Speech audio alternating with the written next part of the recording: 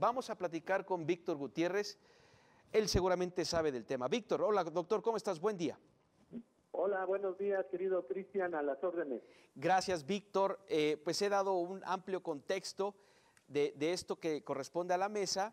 Estarían llamando a, rendición de cuentas diputados locales de la Comisión de Seguridad Pública, estarían llamando al secretario de Seguridad de Michoacán para que informe, para que rinda cuentas. ¿Qué se está haciendo? Porque pues la violencia no solamente no se frena en el Estado, sino que va eh, creciendo.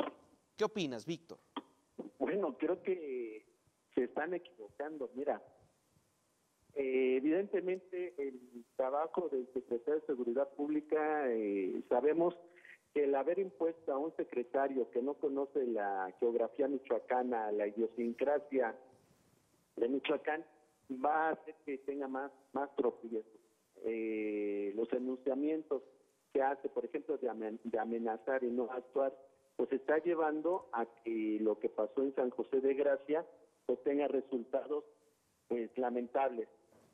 Pero más acá de que llamen al secretario eh, de Seguridad Pública al Congreso, debieron hacerlo con quien está obligado de investigación.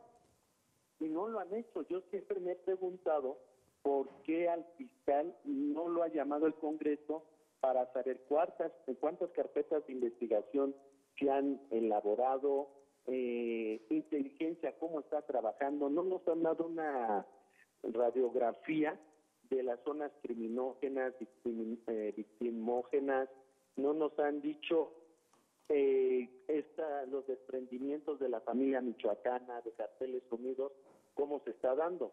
Entonces, Obvio que esta es una tarea que ya debió eh, realizar el secretario de Seguridad Pública desde que entró, pero aquí son a ambos, tanto al fiscal como a él, que deberían comparecer ante el Congreso. Perfecto.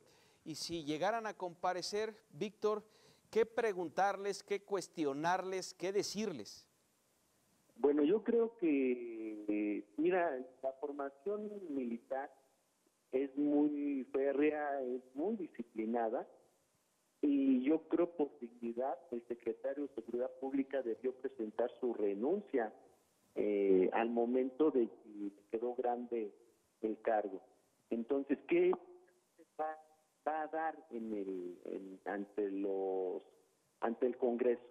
Aquí ya él su negligencia, porque no solamente es eh, San José de Gracia, es Aguililla, Cualcomán, todo lo que es eh, tierra caliente. Entonces digo, sí tiene gran parte él de responsabilidad, pero quiere decir que no se coordinó tampoco con el fiscal, aunque la fiscalía es autónoma, debe él haber solicitado qué grupos estaban operando y cuáles eran el modus operandi, operandi de ellos.